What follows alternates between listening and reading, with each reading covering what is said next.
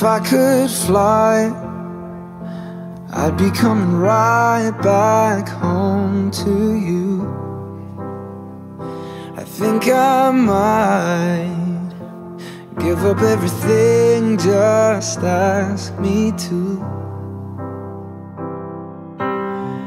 Pay attention, I hope that you listen Cause I let my guard down Right now I'm completely defenseless